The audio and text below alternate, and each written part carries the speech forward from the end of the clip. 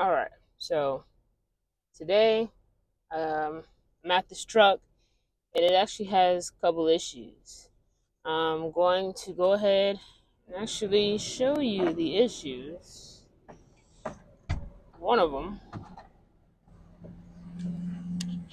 Yeah.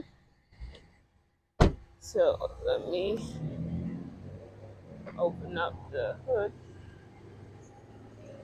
Oh left that aside. So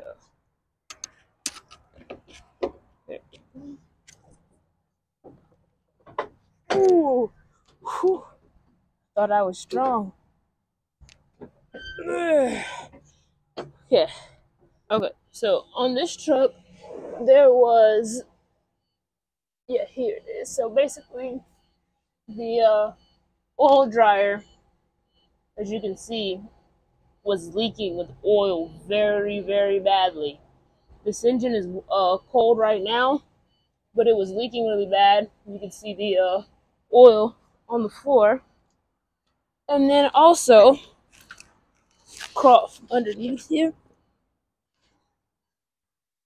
it was also leaking the oil coming from out of the airbag and also try to get a better angle here. So you can see it was also coming from on there. Uh, yeah from underneath there on the relay.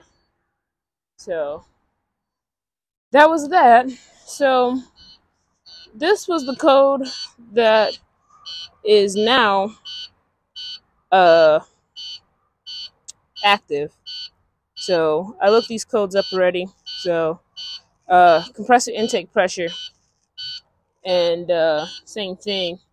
So that's the code. There's a few things I'm going to check.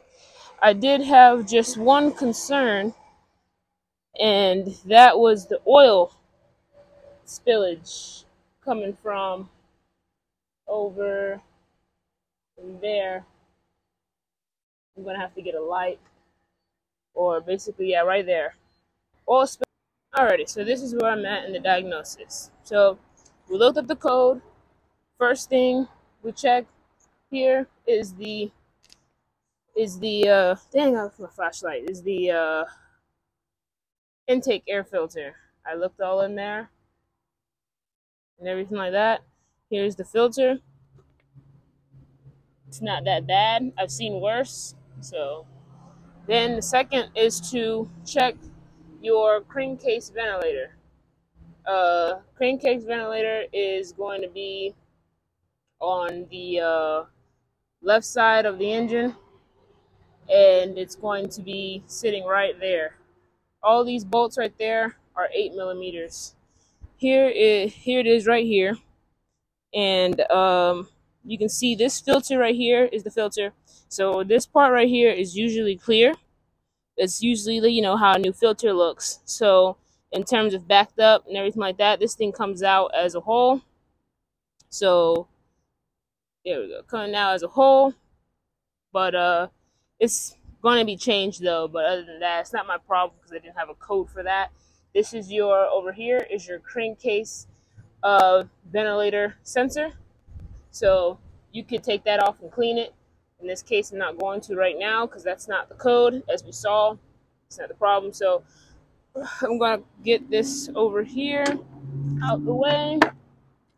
Get the cover out the way. I'm going to come over here and we're going to go right there below let me try. I'm not sure if you can see, but I got the connector popped off over there. And that is your intake manifold pressure sensor. And that sensor here is located over here, again, on the left side, driver's side. I'm going to pop that off and I'm going to uh, check it out. So let me get an 8 millimeter on the other side and then go ahead and take that off and show you. I guess you can say real life mechanic, this is what I go through. So it just got done like raining super hard just a minute ago, but it's cool. Rain or shine, that can't stop me. But other than that though, I'm gonna try and get back up here and show you what I took off the uh, intake pressure manifold. Oh dang, all that water.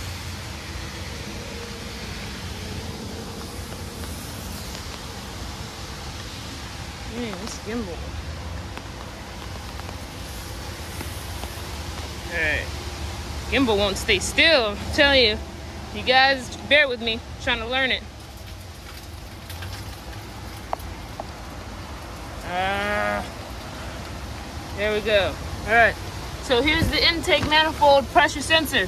As you can see, uh, it's all oily and it's not supposed to be this way. Oh, come on. It just went. There we go. So there, uh, so this is gonna need to be replaced. So that was, uh, this is, uh, something wrong here. Oh man. Not saying that that's gonna be the root of our, that problem, but, uh, it could definitely play a part. So taking pictures there. There we go. So that came out of there. I don't know if you can see that hole right down there. So that's where that came out of. You want to be gentle and be careful. I'm going to try and stick my flashlight in there. See if I can kind of see anything. I hate to be like a bearer of bad news, but dang it, that is not good. So I am taking off the charge air cooler hose, the charge air cooler right here. And uh, yeah, it definitely has oil. Oh crap, all that oil just went everywhere. I'm so clumsy.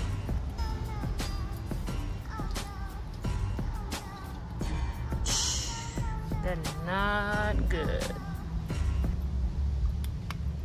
Yeah, so there's oil running all through that charge air cooler.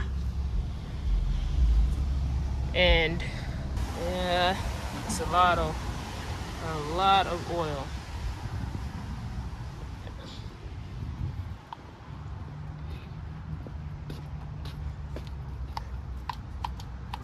This gun here, it's like it only works. When I push down on it, it's kind of aggravating. Of Yeah different size on this side. So this, like I said, this truck was bought, and it was bought used, and he hasn't really ran it a lot, so looks like they patched it up. So you can see, and there, that's the charge air cooler, and it's not so as bad on this side trying to get this to focus. Probably zoom in. So yeah, you can see the fins in there and everything like that. But oil is definitely running through here. So I'm gonna have to let this customer know that before I even move any further. We're gonna get a turbo but it's gonna need more than a turbo. This whole system is gonna need to be at least cleaned out because oil in there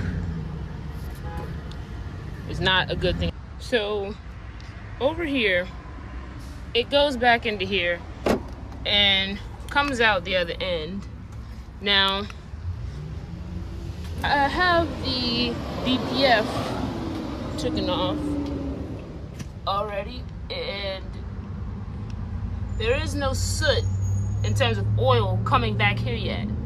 So as you can see up here this is where the uh, track back. So I guess that's me just basically seeing uh, how bad it is as in how far has it gotten. So it hasn't reached there yet.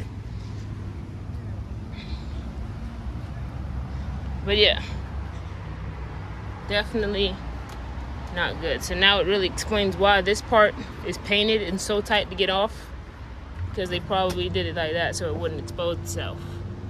And pretty much, yeah. That oil leak coming from over there is just most likely just oil. Yeah, just escaping. So, oh boy.